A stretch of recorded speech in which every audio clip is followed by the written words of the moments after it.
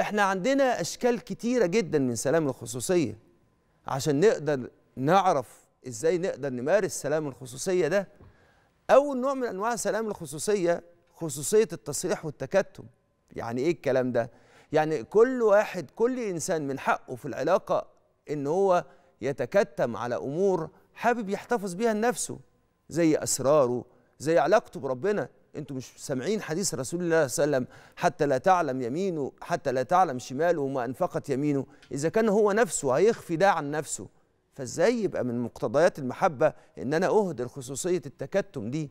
زي ذمته المالية على سبيل المثال مش من حق حق أي حد يعتبر نفسه إنه بحبه لشخص لازم يكشف له عن كل أسراره وتبقى علامة محبته إنه قد إيه بقى واقف عاري قدامه ما عندوش أسرار ويبقى هو عارف عنه كل حاجة. ولازم كمان نربي أولادنا على القيمة دي قيمة التكتم. زي فما فيش أي حاجة تخص الأسرة نقولها للناس. لكن اللي إحنا شايفينه ده إن يبقى ظاهر مفهوم أنا بسميه مفهوم الأسرة share. الأسرة كلها موجودة على ال social media. ده بيهدر خصوصية الأسرة وبيخلي الأسرة للأسف معرضة لأخطار كتيرة ومن أهمها اختار عدم الاحترام. النوع الثاني من الخصوصية خصوصية اسمها خصوصية الاختيارات في الحياة. مهما كانت العلاقات على فكرة مهما كانت علاقات قوية وعلاقات متداخلة مش معنى ده إن حق حد إنه يتسلط على اختيارات التاني في الحياة. حتى من الآباء وأولادهم ولا الاولاد عندهم حق في إن هم كمان يجبروا آبائهم على اختيارات معينة ولا الآباء يعملوا كده مع أولادهم. ولا إن هم يفسدوا لهم تفضيلاتهم ويحطوا تفضيلاتهم مكان تفضيلات أولادهم.